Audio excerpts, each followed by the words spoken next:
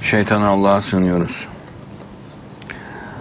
Furkan suresi dikkatli olun diyor Allah.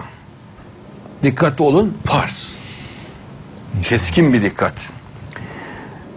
Muhkem hüküm. Bak dikkatli olun diyor Allah. İnşallah. Müslüman dikkatli olacak. Kafa şeytanın büyüsüyle dağılmayacak. Mehdi'ye de şey e, e, Deccal'in büyüsü vuracaktır. Bütün Müslümanlar vuracaktır.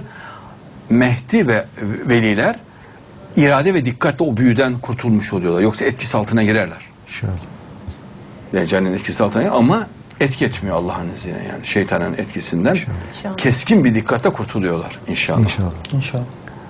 Dikkat Deccal'in o oyununu bozar işte. Çünkü dikkati dağıtmaya çalışıyor. Dikkati de keskin bir iradeyle Müslüman ayakta tutacak.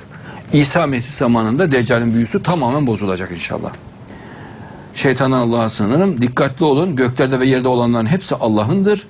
O üzerinde bulunduğun şeyi elbette bilir ve ona döndürülecekleri gün yaptıklarını kendilerine haber verecektir. Allah her şeyi bilendir.